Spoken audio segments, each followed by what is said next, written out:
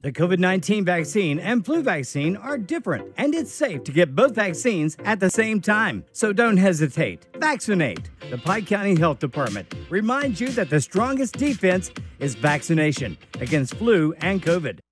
In 2020, when COVID restrictions limited funeral attendance to immediate family, locals from Letcher County formed the Lower Letcher Freedom Flag Wavers to honor fallen veterans. It was started when COVID first came about. Uh, visitation at the funeral homes was restricted to f- immediate family.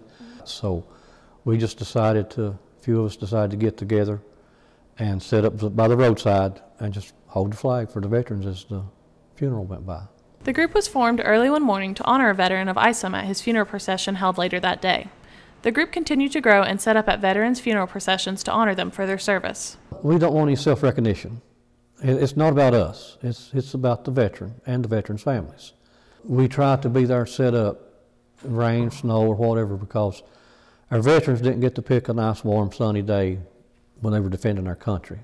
So we try to, that's one way we can give them honor, is, is to be there no matter the weather. The motto for the Lower Letcher Freedom Flag Wavers is Let us serve the veterans who served us. We would like to see this take off in other communities, other people start something like this, and you know where they live.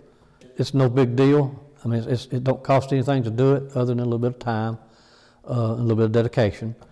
Uh, just contact some of your friends and say, hey, would you like to help honor this veteran that, that passed away? If you have any questions about starting a flag waving group or would like to donate a flag, you can contact Jim Adams on Facebook. For Mountaintop News, I'm Brianna Robinson.